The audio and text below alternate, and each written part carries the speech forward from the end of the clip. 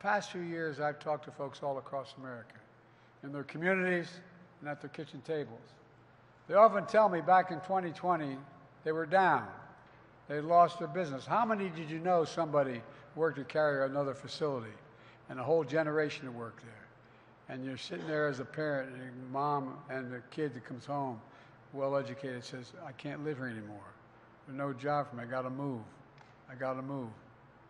They lost faith. Syracuse is a good example. For decades, decades, it was a manufacturing boomtown full of good paying jobs and a solid path to the middle class. I know. I lived here. I went to law school here.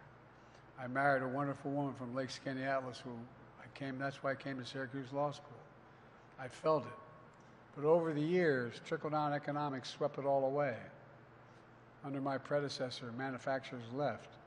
Factories like BCS Automotive over in Auburn, where her family lived, shut down. 22,000 local jobs disappeared in the Syracuse region. That's the story seen in community after community nationwide. Hollowed out, robbed of hope, but not on my watch, thanks to investing we're making in America and the partnerships we formed. American manufacturing is back. New factories are going up all across the country.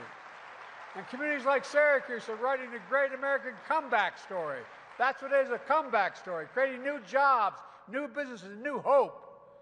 Today, folks, when folks see shovels in the ground in these projects, people going back to work, hope they feel the pride that I feel. Pride in their hometowns making a comeback, pride in America, pride in knowing we can get big things done when we work together. That's why I've never been more optimistic about this nation's future. We just have to remember who we are, for God's sake. We're the United States of America, and there's nothing, nothing, nothing beyond our capacity to get done when we work together. God bless you all, and may God protect our troops. This is a big deal day. Congratulations, Syracuse. Congratulations. Thank you.